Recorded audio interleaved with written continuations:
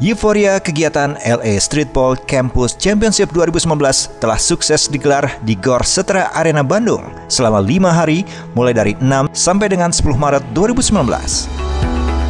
Khususnya buat partai final, pada Minggu 10 Maret 2019, akhir weekend kemarin, dimulai dengan pertandingan perebutan juara ketiga antara tim Universitas Esa Unggul Jakarta versus Universitas Parahyangan Bandung yang dimenangkan oleh Esa Unggul Jakarta dengan skor 51-67. Sementara itu, juara pertama LA Streetball Campus Championship 2019 berhasil dimenangkan oleh tim Institut Teknologi Harapan Bangsa Bandung dengan mengalahkan tim asal dari Surabaya, Ubaya, atau Universitas Surabaya dengan skor telak 43-60. Alhasil pertarungan keempat tim yang masuk final tersebut membuat para penonton yang hadir di GOR berdecak kagum melihat para pemain yang berjibaku terus-menerus merebut poin bagi timnya dengan skill permainan yang keren-keren.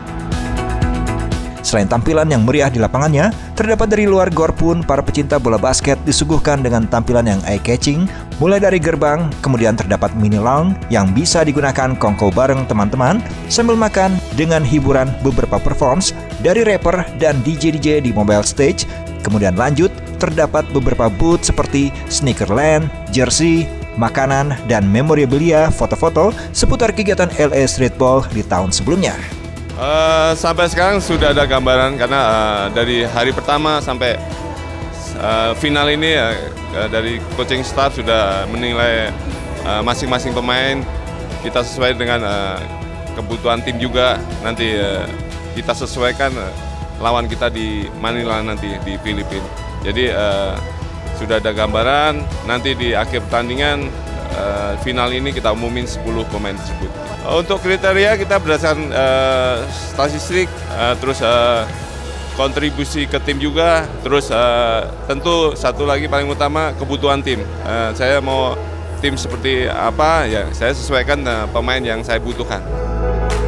Hingga akhirnya LA Streetball Campus Championship 2019 ini juga memberikan beberapa penghargaan lain seperti penghargaan berupa uang pembinaan untuk tim juara, peringkat 2, peringkat 3, dan juga peringkat 4, serta penghargaan kepada dua kepala pelatih dari tim juara dan peringkat 2 yang akan diberangkatkan ke Manila mendampingi tim LA Streetball Campus dan barang 10 pemain terbaik LA Streetball Challenge the World 2019 yaitu Yuda Saputra dari ITHB, Ryoga Deswara dari STI Bakti Pembangunan, M. Aulia dari Universitas Pajajaran, Andreas Ferry dari Universitas Surabaya, Sultan M dari Telkom University, M. Firdan dari ITHB, Petrus Brando dari ITHB, Habib Tito Aji dari Universitas Surabaya, M. Laka dari STI Bakti Pembangunan, dan Agus Salim dari Universitas ESA Unggul Jakarta.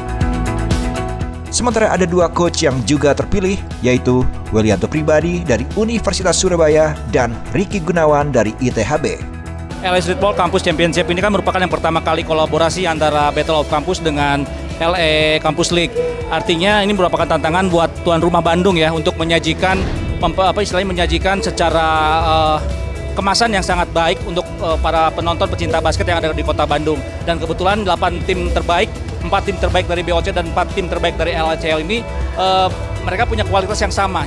Mereka sangat kompetitif mulai dari hari tanggal 6 sampai tanggal uh, kemarin itu mereka sangat uh, mempertontonkan punya kualitas uh, baik secara individu maupun secara secara tim dan malam ini merupakan puncaknya di mana uh, ITHB melawan Ubaya. Nah itulah uh, kualitas dari LA Streetball Campus Championship di, di, di, disuguhkan buat penonton Bandung. Kalau kami dari LA Streetball lebih bagaimana membuat suatu kemasan kompetisi ini bukan hanya kompetisi tapi bagaimana uh, penonton bisa menikmati suatu pengalaman baik di outdoor maupun di indoor. Itu aja sih kalau dari LA Streetball.